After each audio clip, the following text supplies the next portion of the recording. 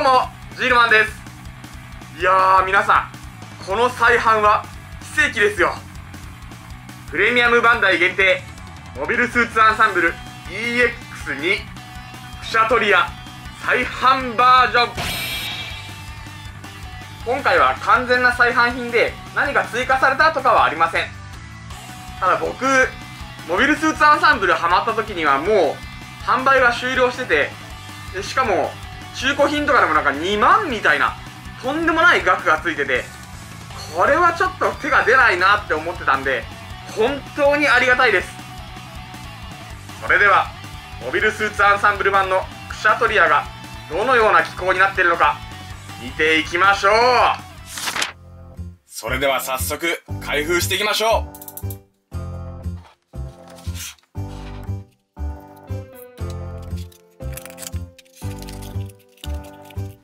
こんな感じになってますね。説明書。シャトリアの特徴的なバインダー。関節パーツ。やっぱり大きいから胴体のパーツが特別なんですね。これが胴体パーツの背面。最初から肩がついてますね。通常のパーツと比べても大きいのがわかります。顔や胴体腰ですね。腕や足腕や足その2主にバインダーなどを支えるパーツですね。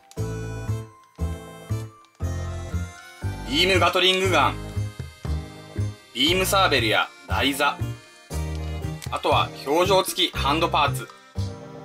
パンネルとパンネルエフェクト。いやー、2段の頃からこんなに合成だったんですね。しかも値段は当時と変わらないっていうんだから、本当にありがたい限りです。それでは早速、組んできました改めてこちらが内容物になります。説明書。クシャトリア本体。ビームサーベルが2本。パンネルが4機。台座。ビームガトリングガンが4丁。ハンドパーツ。以上になります。いやーかっこいいですね。そして大きい。迫力の大ボリュームですね。ユニコーンガンダムユニコーンモードが 19.7m クシャトリアが 22.3m なのでサイズ感もちゃんと合ってますね。バインダーは4枚とも肩を軸に回転。そして上下とフレキシブルに動きます。バインダー内側のファンネルもしっかり再現されてますね。バインダーの先端にはビームガトリングガンを装着できます。これ以外のいろんなアイテムを装着させてオリジナル装備にするのも楽しそうです。パンネルと発射エフェクトは腰バインダーなどに装着して演出します。気になる点は2つあって1つ目はバインダー同士が結構干渉しちゃうことですね。うまいこと調整しても全く干渉しない状態っていうのは無理そうです。2つ目は個体差かもしれないんですけどバックパックに瞬間接着剤が固まったかのような跡があるんですよね。これ少し残念です。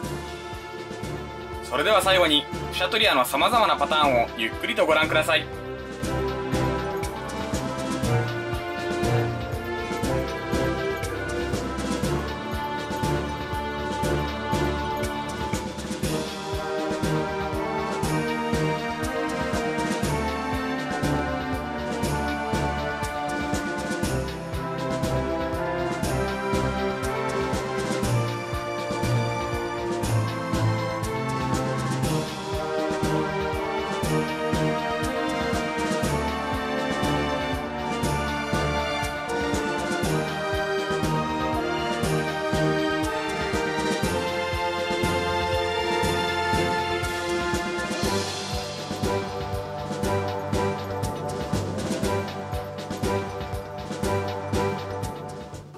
いうことで今回はプレミアムバンダイ限定モビルスーツアンサンブル EX に再販版クシャトリアのレビューでした。